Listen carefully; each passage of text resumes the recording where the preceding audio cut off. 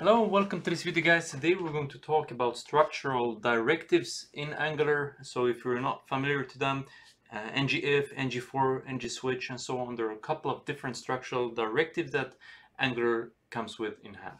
So in our case, we're going to generate a new directive. So let's name it generate directive. We're going to call it hidden. So in this case, we're going to have a similar logic as the ngIf just to make it easy for us, uh, let's jump into it. So the hidden directive that we have, the first thing we want to do is essentially we want to have an input, which essentially should have the same name as, so app hidden, just trivial to have the same name as you have up here. And here we're going to set, set the hidden value, or we could just say is hidden, false.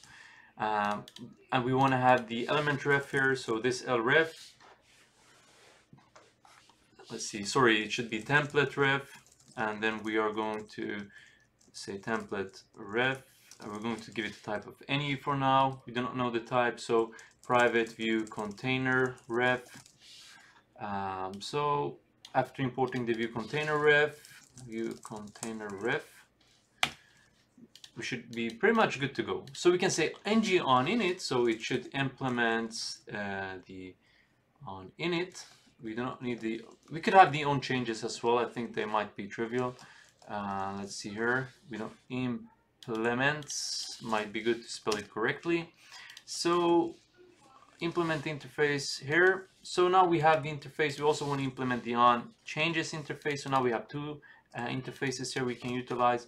Um, so in the ng on init there's a couple of, uh, essentially one easy thing we want to do. So let's create a function here. So we make it private show or hide container.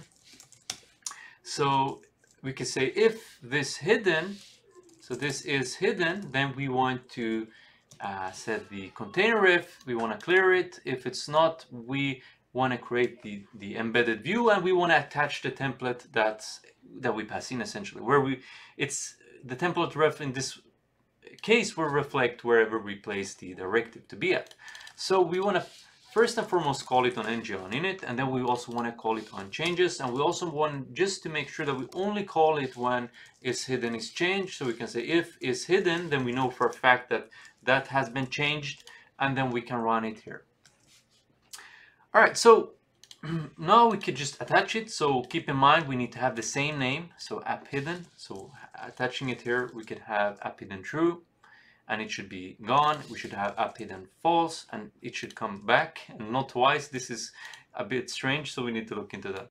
In this case, I think the issue is that we're being we're triggering it essentially twice with the ng on changes and ng on init. So let's just go ahead and, and remove the ng on init from this case. Uh, saving this, and as you might know, the ng on changes is being triggered in before the ng on init. So in this way, let's store whatever we have. Seems like we have some issues with prettier. Um, all right, so if we set it to be true, it will be hidden. If we set it to be false, uh, sorry, false, then it should be shown to us. So we have essentially created our own ngIf for some strange reason. Uh, just imagine what you can do with it. You could mutate the content with the directive and so on. All right, guys, thank you for watching. All of the best. Bye.